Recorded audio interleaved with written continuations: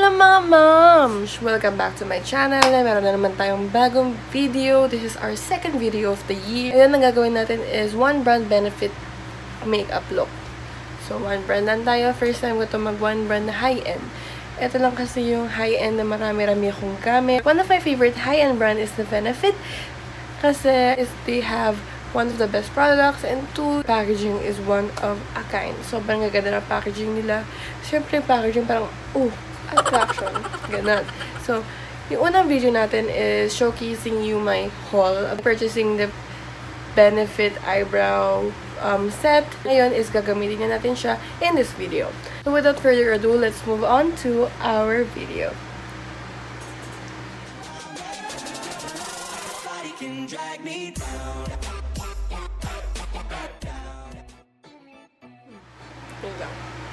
So, ayan. Meron na akong base.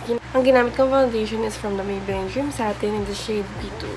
So, ngayon gagawin natin yung kilay natin. So, yun. Hindi ko pa nagagamit. Gabi lang in-swatch ko siya. So, gawin natin siya.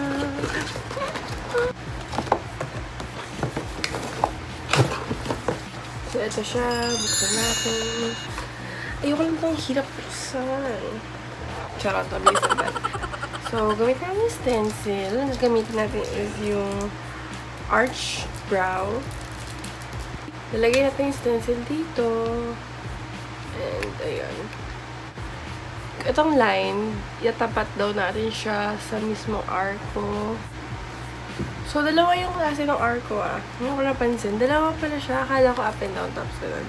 Dalawang klase pala siya ng arc, ng arch brow. Ito yung look 1. Ito yung look 2. So, from, base sa akin, yung look 1, yung pinakababagay sa akin. Pa naguguluhan ako. Ayan. Siya. Ganyan. Ganyan daw siya. After nun, lilinyahan natin yung baba. Ganon. Oh, gagawin ko ba? Hindi ko na siya gagawin na. Ganun. Basta ang tip dito is, itong linyang to is, i-align nyo siya sa mismong arco ng inyong kilay. And then, iti-trace nyo siya. Then blend, pwede rin ganito. Tapos, trace, then blend. Ganun yung kanyang purpose. So, for me kasi, alam ko na yung paano gawin yung kilay ko. So, I prefer not to use it. If you are having trouble sa pag-draw ng kilay nyo, this is for you na. So, I'm going to use this Up Brow and yung kanyang brush. I also has the Goof Proof, pero paubos na kasi yon Kaya, ito na lang ka-brow gagamitin natin dahil di pa na feature sa aking channel. So, what I do is outline yung baba muna and then yung taas. Ang, ang bilis lang niya kasi sobrang creamy nung brow product. Sa konting ganong tut-tut ko lang, ang dami ko nang nakuha. As konti lang yung kinuha ko from this. And as you can see, up and down na hindi pa ako nagdidip ulit. Kahit konti lang. Ayan, marami na siyang malalagay dahil sobrang pigmented niya. Sobrang tipid niya gamitin kasi as you can see, hindi pa ako nag-dip pero na-outline ko na yung baba at taas. So, yan. I-blend naman natin.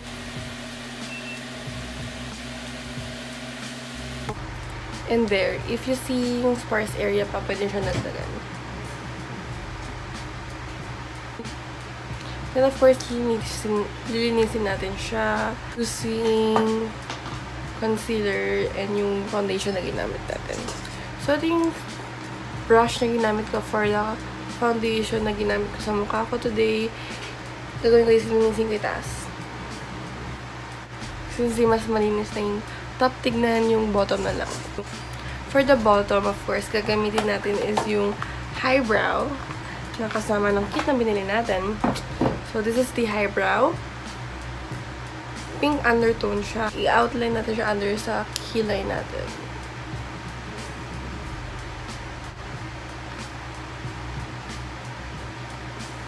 Sobrang creamy niya. Akala ko matigas siya. Parang sobrang creamy niya. Ayan. Tapos nun is, ibe-blend naman natin siya. Blend. And ayun, dual purpose siya kasi panglinis siya and of course, yun nga, parang pang traction ng kilay, ganun. So, next natin gagawin is the last step of our kilay. Gagamitin is yung 24R Brow Setter. So, ito is clear lang. Okay yung kulay sa akin, no? Akala ko magiging too light siya, pero sabi ko, number 3 din naman ako sa Goof Proof, so why not? May amoy siya. Alam niyo yung, yung stick, tapos ilolobo, magiging balloon. Ganun yung amoy niya. Type ko yung brow setter. Sobrang type ko. And of course, yung ka-brow. As in, see, sobrang konti lang ginamit ko. Pero, pak na agad. Gagawin ko na yung kabilang kilay and I'll be back. so, ayan guys. Yan ang kilay natin. So, meron pala akong um, observe. Yun yung brush nung 24-hour brow setter.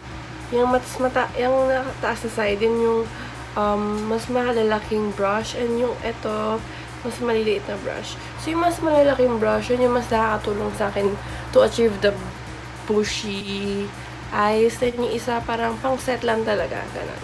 So, if you want to have the bushy, ganun ganung effect, yung mas malak yung mas malaking brush yung gamitin nyo. Ang meron lang ako is isang liquid highlighter. This is the High Beam. Actually, favorite ko tong um, liquid highlighter eh. So, lagyan na natin siya dito. Hindi pa ako nag-powder ah.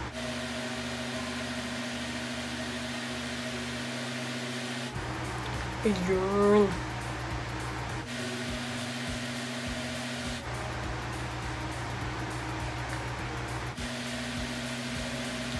Ayan. Di ba ang ganda? Maganda yung liquid highlighter na to. Sobra. Tuldok lang. Tuldok. There. So, next natin gagawin is yung powder, which is I don't also have. So, I'm going to get any powder na meron ako. So, ang gagamitin kong powder is ito na lang itong Maybelline New York na White Super Fresh in the shade Nude Beige. So, ito pala yung nilagyan. Ito yung nilagyan ng binili ko last year. Ito yung mga kasama yung ito, liquid highlighter na yan, high beam, then maraming makiba sa loob. Ito yung Goof Proof. Kaso paubos na siya. So, ay! May primer pala ako. Hindi ko nagamit. So, next time, nalimutan ko may primer pala ako ng benefit.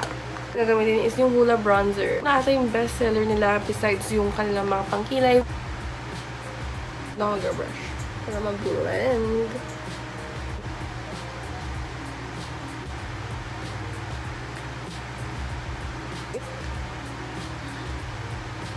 Init. So, next is kuha naman tayo ng mas maliit na brush pang contour natin ng ilong. And after nun, i-blend ko siya na kamay ko. And then next is blush. Magdo-double as highlighter na to kasi meron tong shimmers, the Dandelion blush. Same sila ng brush. So, hindi ko gagamitin yung brush that it comes with it. Gag gagamitin ko yung sarili kong brush. Wala lang. Na-hit pad ko na siya. Maganda to. Mag-show up daw to sa mga fairer skin.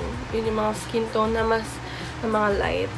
Doon lang siya mag-show up. Kasi sobrang light pink neto. Tignan nyo ah. Kahit sa akin, hindi masyadong kita eh. Ayan. Sobrang light niya. So, hindi to for all skin tone. Sobrang light niya.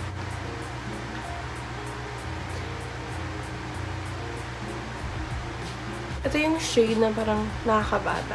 Ito yung blusher shade na yun. Pa-fresh na yung look. Sumalagay lang ako ng lipstick kasi wala akong benefit na lipstick. So, next, siguro mag eyeshadow. Kung wala akong eyeshadow, what I will do is gagamitin ko tong Hoola bronzer all over my eyes.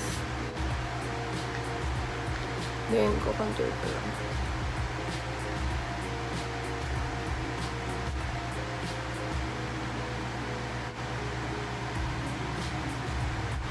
And then, maglagay tayo ng dandelion. Tignan natin kung mag-show up. Or kung hindi man mag-show up, hindi man siya mag-show up, at least may konting shimmer. There. Hindi siya actually nag-show up. Naglagay lang siya ng konting shimmer, pero tuyin natin. Pagkatapos nun is mag um, mascara naman tayo. So, yung mascara nila na I have is the They're Real mascara. So, gamitin natin. Maganda to. Ilang beses ko ito na ginagamit and I really like this mascara. Volumizing and lengthening siya. And pumubuksan niyo siya kasi nga mini size. Kayo sa laki ng brush pero actually yung maganda yung brush. Ito niyo ba? Ganda, di ba? So, kinagirl niya yung lashes ko without me curling it. As you can see, hindi ako ng curler. Lagay lang ako. Yan. So, ito na yung finished look. So, aura, aura na tayo.